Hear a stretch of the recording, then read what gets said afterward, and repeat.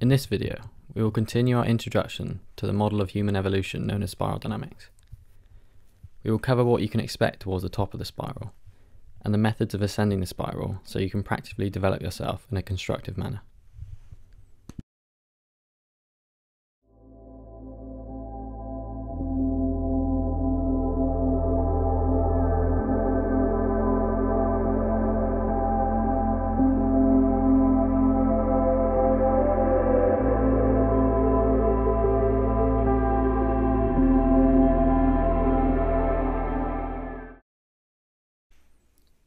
Please go back and watch the previous video on spiral dynamics before we start, because it will give you vital context for this video.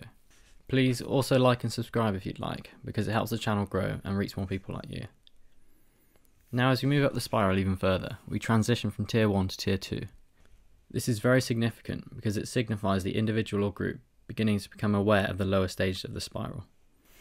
Tier 1 was generally characterized by self-righteousness that one's worldview was the only correct one. But now as we evolve into tier 2, we see the lower tiers as a necessary system of step-by-step development so that the individual or group could survive more efficiently in their environment.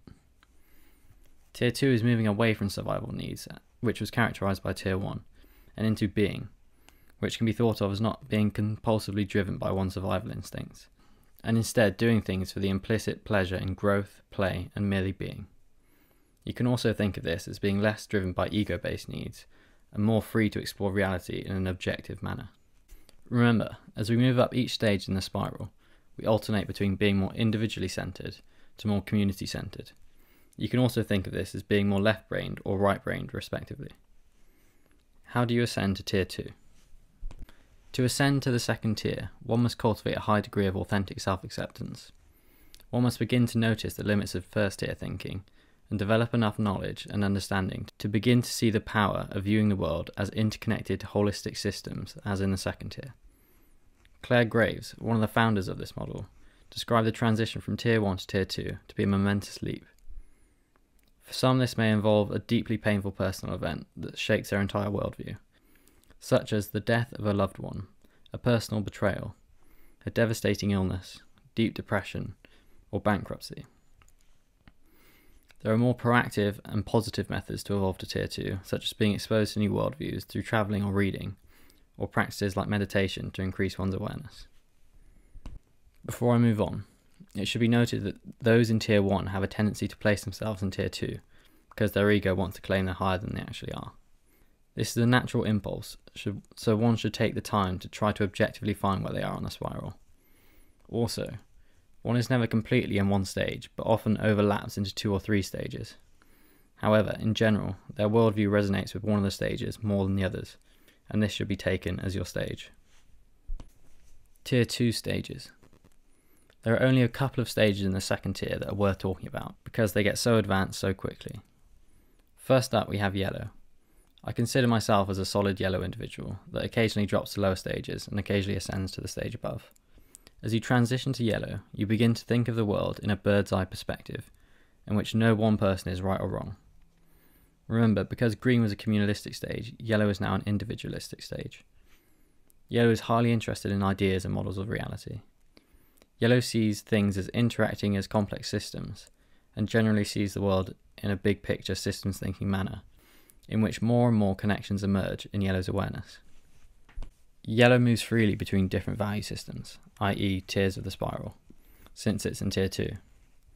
Here's a list of the general characteristics of yellow, which will hopefully provide you with more context.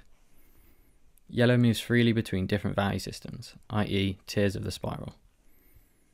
Yellow fuses head and heart. Yellow is hyper efficient with its actions. Yellow views the world in terms of evolutionary streams and integrative structures.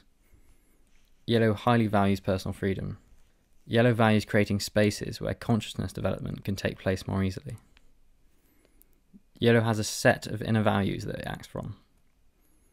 Yellow views life as chaotic and changing, in which insecurity is an acceptable way of being. Yellow is always seeking to learn and develop oneself. Yellow is only present in approximately 1% of the world's population. And the last stage we will consider is turquoise. This stage I don't have much experience of, but I can still talk about its characteristics here. If you remember, yellow was an individualistic stage, so this stage is communalistic. This stage is even more interconnected than yellow, such that the world is now viewed as a holistic grid of interdependent units. Turquoise emerges to expand on yellow's more myopic systems thinking, to unify body, mind, and soul in one overarching holistic framework. And here is a list of the general characteristics of turquoise. Turquoise sees how all forms and forces of life work together in harmony. Turquoise accepts things for how they are, and in doing so is at peace. Turquoise has a collective consciousness, whereby the global view is equally as important as the local view. Turquoise sees itself as a small part of a cosmic web. The key characteristic of turquoise is that it integrates everything it perceives into a holistic field. Turquoise plays with energetic fields and connections. Right, that'll do for this video. Thanks for watching.